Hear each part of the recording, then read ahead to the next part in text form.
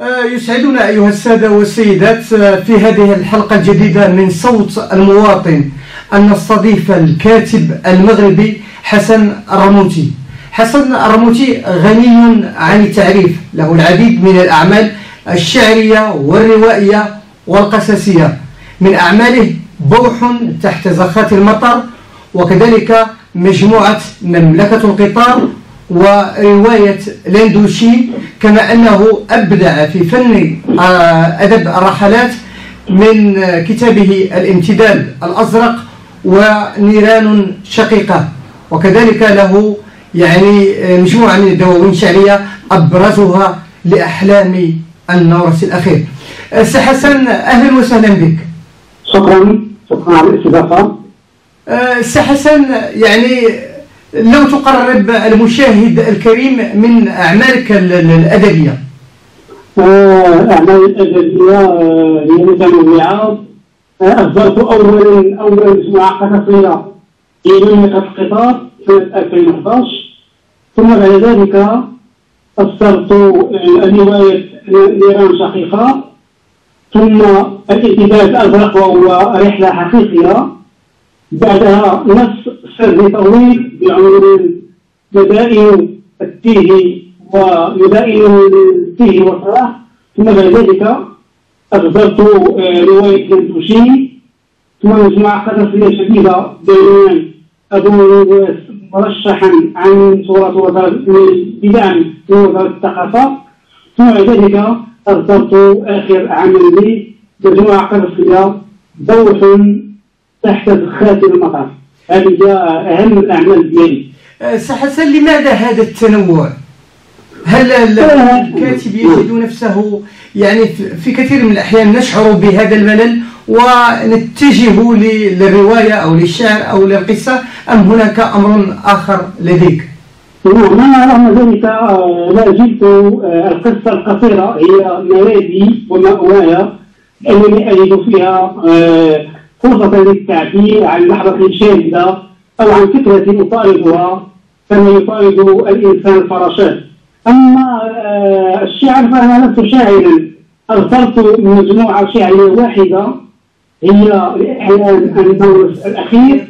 لذلك أنا أتهيب من كتابة الشعر لأنه إما أن تكون شاعرا أو لا. لذلك فأركز على السرد على السرد إما على القصة أو عن الرواية أو عن الرحلة كما كما أشرت.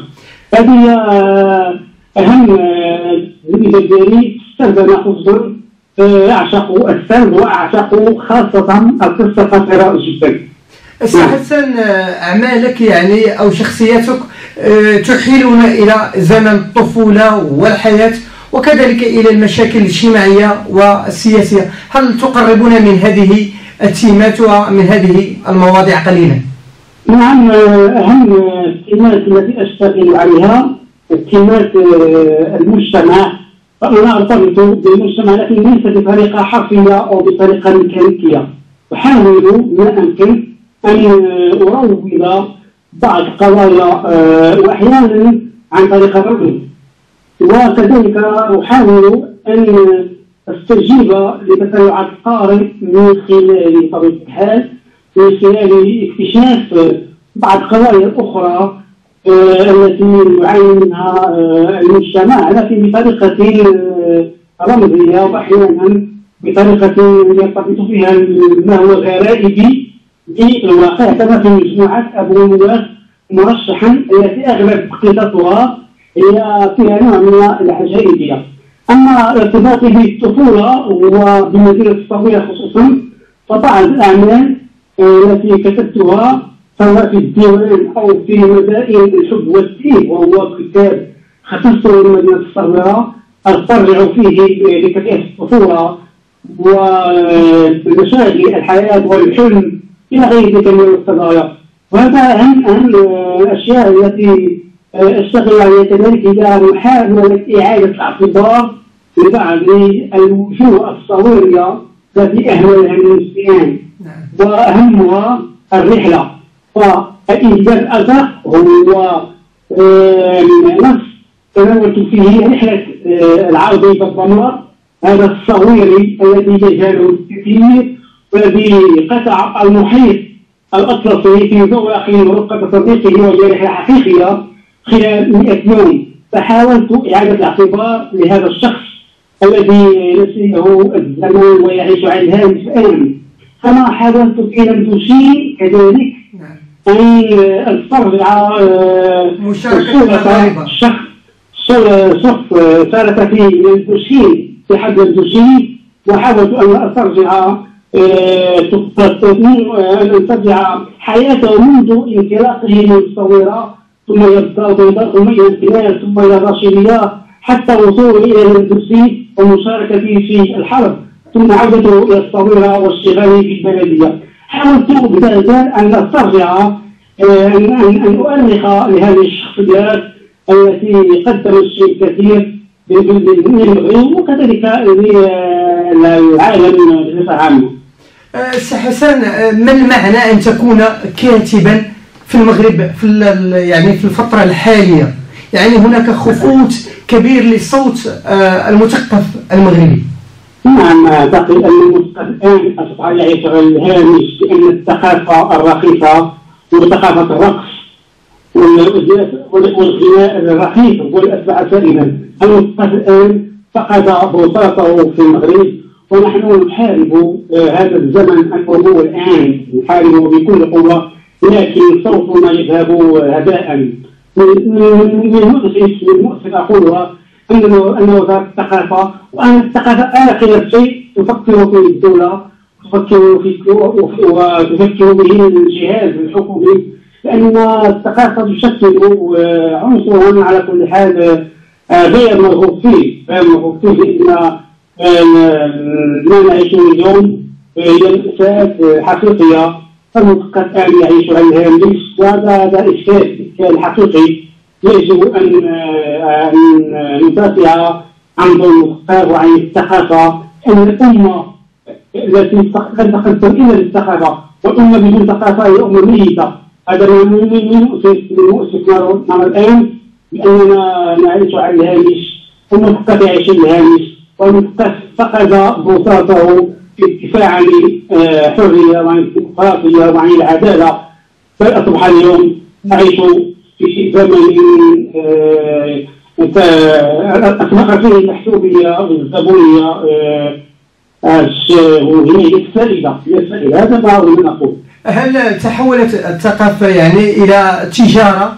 أم أن هناك مثقفين من الدرجة الأولى première classe وهناك مثقفين من الدرجة الثانية أو مثقف المركز ومثقف الهامش؟ للاسف الان الثقافه الحقيقيه هي في الهامش الهامش هو ينتج ثقافه حقيقيه ان اناسها احسوا بنوع من التمييز ونوع من الحضاره الغبن نوع من الحضاره وثقافه المتاع الباء هو قطاع الاجيال الفرق بين بين قطاع الاجيال وهي الثقافه هي ثقافه ولكن آه، اعتقد ان حتى هؤلاء الذين يجب أن يكونوا قدوة في الثقافة. أعتقد بانهم قد قد يغيبون الآن عن الساحة وربما آه، يحاولون آه، الاعتماد على على كل على دورهم من أجل تحقيق مصالح خاصة.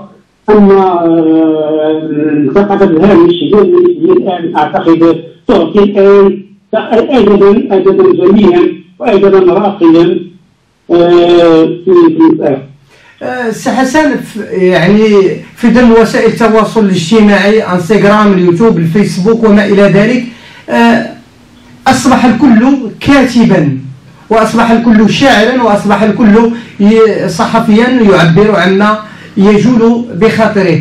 آه، يعني أنها يعني ألا يمكن استغلال هذه الطفرة الإعلامية لنكون يعني آه، لصالح الثقافة ولصالح المواطن أم آه، الآية هي التي انعكست؟ الوسائل الاجتماعية في حقيقة وسائل التواصل الاجتماعي هي مهمة لأنها تقرب المسافات ولكن من المؤسف أننا أصبحنا الآن نجد أشياء الصحفيين وأشياء الكتاب وأشياء الشعراء ينشرون ما يريدون وصولنا هذا بدوني ولكن الثقافة الحقيقية الثقافة الحقيقية تبقى دائما لها آه، أصول أصولها ولها قيمتها وما آه، هذا الثقافة الآن الثقافة التي تصف وسائل التواصل الاجتماعي هي ثقافة تذهب جفاء لا لا تستقر على حال أنه تنسى تنسى خلال أيام. أما الثقافة الحقيقية خصوصا ثقافة الكتاب الكتاب تبقى دائما للاصل ومن بعد الثقافة الحقيقية التي نسمع إلى تكريسها وإلى إبرازها في المجتمع. أه، سي حسن أه، نعود إلى أعمالك الأدبية. كيف تختار هذه العناوين عناوين مجامعك القصصية أو الروائية بوح مملكة الدوشين الامتداد أحلام النورس يعني كنعرف النورس في مدينة الصويرة أبو نواس ثم كيف يتم اختيار هذه العناوين؟ أحيانا اكتب النص وأفكر في والعنوان هو الذي يختار النص يختار العنوان أحيانا أختار جملة أو كلمة في وردت في في الكتاب أو أحيانا قد أقترض على صديق على صديق مثلا بالقرار من يميني مثل سلسله مصداق مصباحي أن امنعه النص يقرأه واختبره أن يقترح علي عنوان مثلا في في ميلان دقيقه والذي اقترح علي عنوان بعد أن قرا بعد أن قرأ هذا النص. وأما العناوين الأخرى فاني اختارها حسب طبيعه آه، الكتاب حسب هو تخريج العناوين فدائما كان صعب من الصعب أن تعبر عن كيف يختار الإنسان عنوانه. ولكن نحاول أن اختار العنوان انطلاقا من طبيعه نزول الكتاب أه، سي حسن في أه، في نهاية هذا اللقاء القصير من طبيعة الحال أه، كلمة لمتتبعيك ولعشاقك من يعني عشاق الرواية ديالك والأعمال القصصية ديالك. كلمة أخيرة لهم وما الذي تود أن تقوله كرساله أقول أقول لأصدقائي الكتاب الذي أعرف كثيرا منهم والتقيت بهم في ملتقيات كثيرة جدا. والذين يعجبون بكتاباتي والذين قرأوا كتبي أقول لهم تستحقون الحياة تستحقون الحياة. أنتم الأغلى وأنتم الأروع. إني أحبكم جميعا جميعا. أه، سي حسن شكرا على هذا اللقاء القصير ونتمنى إن شاء الله أن تتجدد لقاءاتنا في لقاءات مباشرة معك. وكل الشكر والمحبة لك. دمت كاتبا متميزا من مدينة الصويره و شكرا شكرا. السلام شكرا عليكم. لكم جميعا. شكرا لكم جميعا. شكرا. كل كل المحبة والتقدير. نأتي على نهاية حلقتنا من آه، برنامج صوت المواطن. كان معنا الكاتب المغربي حسن الرموتي من مدينة الصويرة في لقاء مباشر. إلى لقاءات أخرى. أسعد الله أوقاتكم. قبل ما تخرجوا ما تنسوش تابوناو في la chaîne يوتيوب وبارطاجيو الفيديو مع أصحابكم في مواقع التواصل الاجتماعي. وما تنسوش ديروا j'aime.